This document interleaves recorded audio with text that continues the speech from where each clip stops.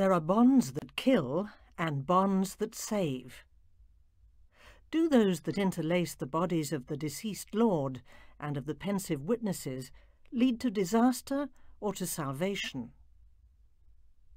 Here we witness Jesus borne to his burial place, escorted by his friends. Rather than appearing sad, they tread lightly, as if dancing around Christ. It is as if the tomb, perhaps that cavity in the upper right-hand corner, towards which they accompany Jesus, had the attraction of a nuptial chamber, where some intimate ceremony will take place, in the silence and the shadows, the resurrection that was cried out for by their souls and promised by his word. For the present, however, the body of Christ resembles a corpse, which, judging from the arms of his friends, is hardly light. He is supported by long strips of cloth, the same ones, most likely, that Joseph of Arimathea, the bearded figure behind Christ, St. John the Evangelist, in red to the left, and Nicodemus, in green to the right, used to thread around the sacred limbs when they brought Christ down from the cross. Filled with saintly respect, the disciples carry the body of he who raised others from the dead in this improvised stretcher. Note that their hands do not actually touch their gentle burden. They simply support him on the cloth. Moreover, the body, though lifeless, seems to move under its own volition and to walk alone, as is suggested by the undulation which inclines Christ's face to the right and his legs to the left. Jesus does not have the stiffness of a cadaver, less still the appearance of a victim of torture. There is indeed no trace on Christ's sides, revealed for our devotion by the artist, of the countless scars of the flagellation or of the blows of his executioners. And on this smooth, rounded forehead, where are the cuts inflicted by the crown of thorns, or the traces on the hands and ribs of such recent suffering? If Michelangelo omitted to paint the stigmata, it's not that he was unaware of their eternal existence as glorious signs of Christ's passion, but that most likely he did not have the time to add such crucial details to this unfinished work. In fact, the only visible scar is the navel, located an equal distance from the eyes of John and Nicodemus, which marks a seal of love on the immaculate flesh. With this gentle wound, the new Adam bears witness to his origins. It is from a woman drawn from among us by the Holy Spirit that God the Son received the human form needed for our redemption. The cord, now gone, left on Christ's stomach a mark that neither the flails of the whips nor the nails of the gibbet could overshadow. The link of love of which the dead Christ's umbilical mark reminds us points always towards the mother who bore in her holy womb the author of all life,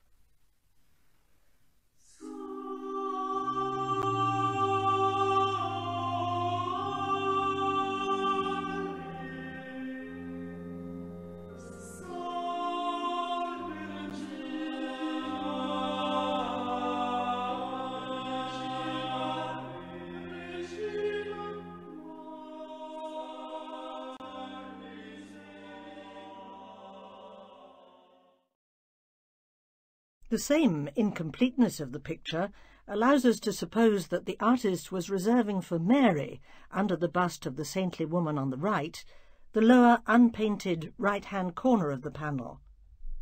Unfortunately, only a vague contour suggests the kneeling silhouette of the Virgin. The posture of St Mary Magdalene on the left, possibly the earring denotes her, informs us of that which was intended for the mother of the Saviour.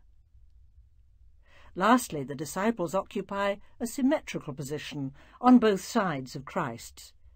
These, Christ's porters, are true Christophers, literally carriers of Christ. The colours of their clothing are carefully coordinated. St. John is wrapped in a red tunic with green highlights, while Nicodemus wears a green tunic on top of a red shirt. The ties with which they support Christ complete the unity of the central trio. This is not only because of the intrinsic cohesion conferred on the group by the intertwining of the bands around the three figures, above all, it is because of the reference made by this very particular composition to a no less prestigious but much earlier work of art, the discovery of which so struck Michelangelo that it remained with him throughout his life. This other masterpiece, however, is not a painting, but a statue, the Laocoon. Unearthed in Rome in 1506, this group composition came from Rhodes, where it had been sculpted 17 centuries earlier by three artists.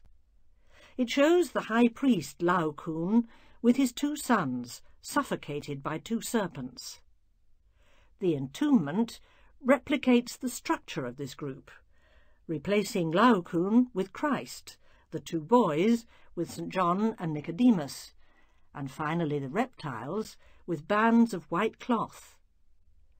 These coil from John's stomach, right shoulder and hips, under Christ's arms and over his torso, to writhe themselves around Nicodemus's waist and behind his back to his right shoulder, before passing down his left hand back to John, under the legs of Jesus, and over those of John, before finally dropping down at the latter's right foot, forming as they go the most serpentine of shapes.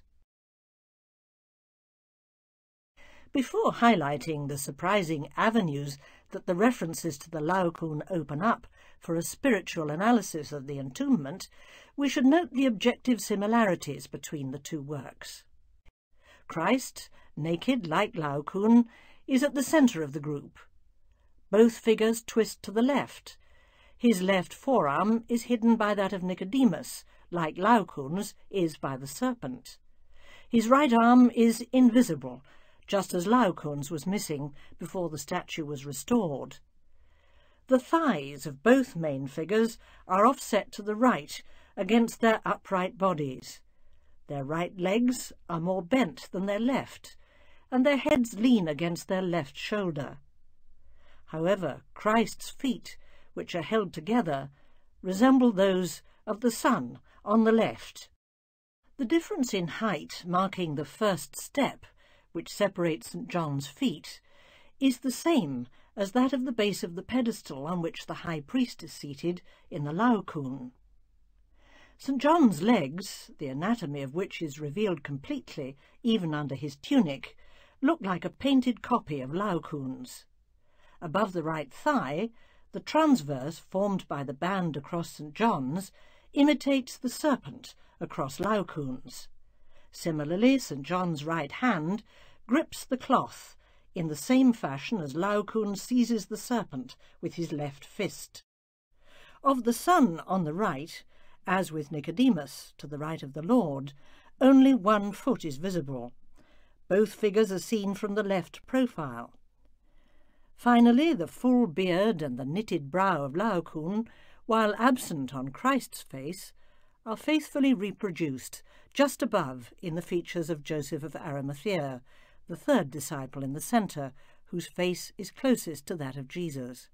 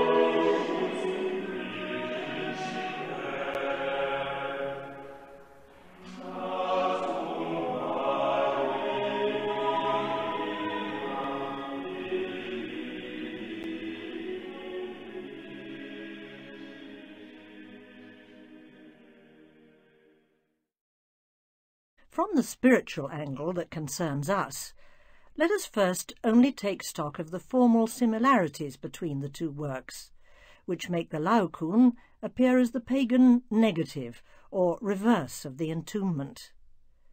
Thus these bonds of love, the white cloth, which unite the three central figures, become pregnant with unsuspected meaning as soon as they are seen as the poetic transposition of the serpents of hate, which in the group from antiquity suffocate both father and sons.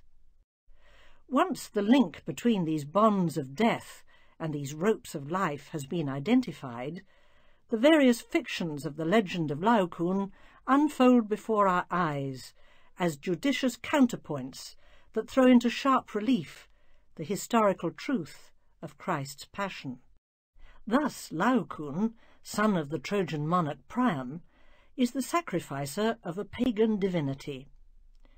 Jesus, son of King David, is that of the eternal priesthood announced by Melchizedek. Both warn their fellow men against a mortal danger.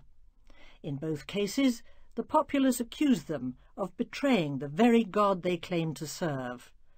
Laocoon is denounced for sacrilege, Christ for being an impostor.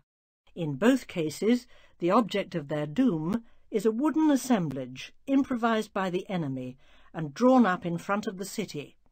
In one case, the Greek horse on the fringes of Troy, in the other the cross of the Romans on the edge of Jerusalem, to the left of St. John's Head. Laocoon throws his spear against the wooden horse. Jesus is speared by a lance on the Calvary cross, surrounded by the two crucified thieves. Both groups of men are forced by their enemies to languish on the arms of the cross and inside the horse until the hour of darkness. Both objects, which the population hoped would win them political security, end up as agents of siege. The Trojans believed the lie of the renegade Sinon, who promised them the protection of Athena if they admitted into their walls the wooden horse that had been offered to her. Trusting in the traitor Judas, the high priest Caiaphas abducted Christ from the Mount of Olives and imprisoned him in the city, where he condemned him calculating that it was expedient that one man should die for the people. Yet the contempt that the two peoples had for their respective priests, whether Laocoon or Jesus, led on the western fringes of the same Asian continent to the respective ruins of Ilion and of Zion. Troy was in fact razed by the Greeks, Jerusalem by the Romans. In both cases, the Mediterranean victors came from the west, Lacedaemon, Sparta, and Latium, Italy. This sculpture from Greek antiquity and this painting from the Italian Renaissance thus set each other off, to the advantage of the latter and to the benefit of the viewer. Considered in itself, the fable of Laocoon is certainly evocative, but what an explosion in meaning is lent to it by the Christian revelation. Instead of a despairing meditation on the human condition, the Laocoon becomes instead the pagan herald of the unique sacrifice. The impotence of the mythical high priest highlights and reveals the total efficiency of the crucifixion, the ultimate act of the historical high priest and divine Christ. We can develop this parallel further the Son of God has just died on the cross to save all mankind. Because his passion, which is completed in the arms of his disciples, is the redeeming sacrifice, the bonds of charity which join John and Nicodemus to the dead body of Christ are the bonds of life which lead them beyond the grave to salvation. By contrast, the bonds which attach the still living Laocoon to his children lead them to death. For as the monstrous serpents of the Laocoon form a poisonous web and force themselves on their unwilling victims, so the linens in the entombment are instruments of a delicate compassion for Christ, and are thus willingly carried by the disciples.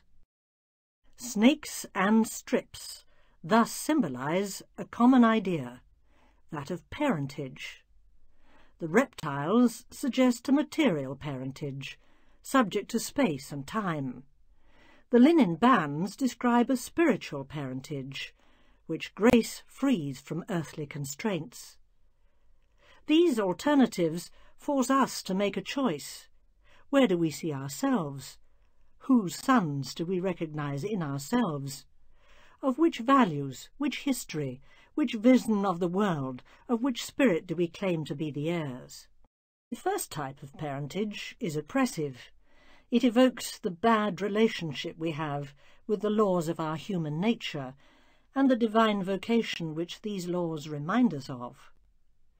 We are tied by deceit, by vice, by complicity and by crime to this impure object, whether it be visible or invisible, that is defined by our actions as the centre of our existence. This is symbolized in the Laocoon by the central figure of the father, from whom the sons are unable to separate themselves. Like meteorites approaching a black hole, they only gravitate towards him for their imminent demise. Ensnared by the coils of our sins, we die, like these children, of a constriction that is all the more efficient in that we think ourselves free. Only the second parentage is truly liberating. John and Nicodemus remain perfectly free to drop on the spot the coils of cloth that encircle their bodies. These bonds link them to the only living object, God, whose grace preserves from corruption the body soon to be glorified at Easter.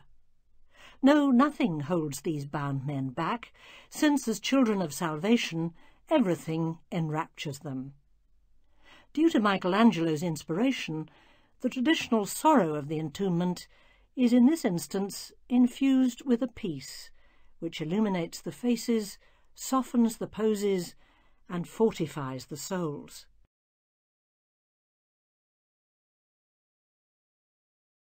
Above all, from the smooth surface of the holy body in the centre, a glowing candour seems to flow from Christ's breast, through the pale strips held by the disciples down to the holy women.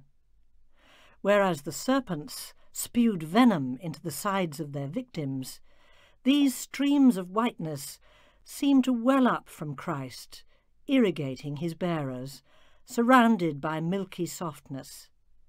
He comes to wash away tears and to anoint those who love him. Prophet.